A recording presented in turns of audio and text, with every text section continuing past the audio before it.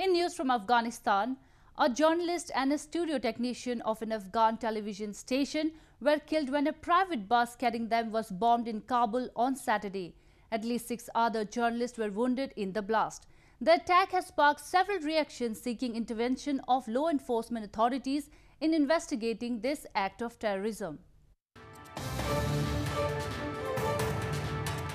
Two employees of an Afghan television station, Zamir Amiri and Saifullah Zabi, were killed when a private bus carrying them was bombed in Kabul on Saturday.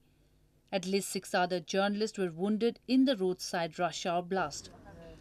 A preliminary probe showed a bomb attached by magnets to the bus used by Kabul-based Khurshid TV employees was blown up during the evening rush hour.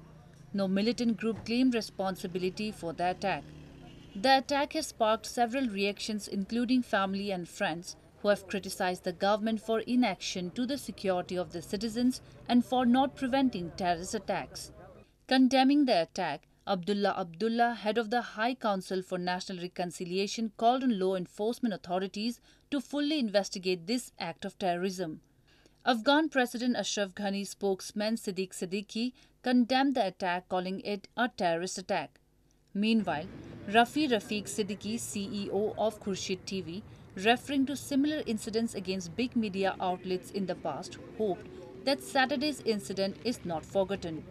Afghan Journalist Safety Committee called on security forces to identify the perpetrators.